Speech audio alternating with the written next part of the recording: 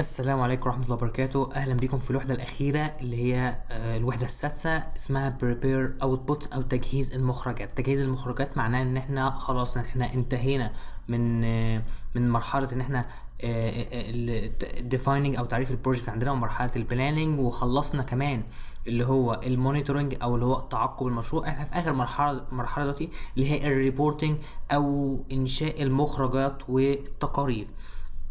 إزاي بقى آه، نعمل الكلام ده؟ طبعا انت مش بس التقارير أو المخرجات انت بتحتاجها في نهاية المشروع لا انت كمان ممكن تحتاجها اثناء المشروع نفسه عشان تطبع مثلا تقرير عشان تطبع مثلا الجانت شارت عشان تقدم للتيم بتاعك أو للفريق بتاعك تقدم لهم آه، اوراق توريهم حالة المشروع بتاعهم والتطور بتاعكم في المشروع قد إيه بحيث ان كل آه، افراد الفريق وفريق العمل يكون عارف إحنا وصلنا لحد فين. هنتكلم إن شاء الله بإذن الله هنا عن مجموعة من النقط. أول حاجة هنتكلم فيها عن changing orientation آه، وال paper size نتحكم إزاي في في في طباعة الورق و- واستدارة الورق وحجم الورق اللي هنقوم بالطباعة عليه. كمان هنشوف إزاي ممكن نتحكم في ال margins أو الهوامش. كمان هنتكلم عن ال printing فهنشوف إزاي ان إحنا ممكن نتحكم في عدد ال columns أو عدد الأعمدة اللي إحنا نطبعها آه، اللي يتم طباعتها إن شاء الله.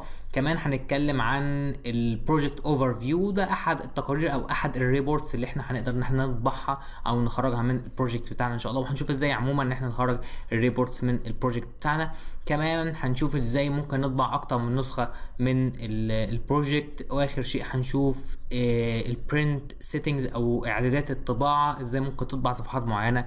إزاي ممكن تطبع آه، ال notes فقط؟ إزاي ممكن تطبع آه، أيام معينة؟ مثلا ال tasks من تاريخ مثلا 1 يناير إلى تاريخ مثلا آه، 2 آه، مثلا سبتمبر أو اي اي فترة زمنية معينة. آه، في حاجات كتيرة جدا هتلاقوها في ال printing كانت موجودة في ال Word أو في ال Excel أو عموما يعني هي تقريبا أو إعدادات ال printing اللي كانت موجودة في برامج أخرى لكن هنا هتشوفوها ببعض الشكل مختلف شوية. شكرا وأشوفكم في الدرس آه، الجاي إن شاء الله. آه، والسلام عليكم ورحمة الله وبركاته.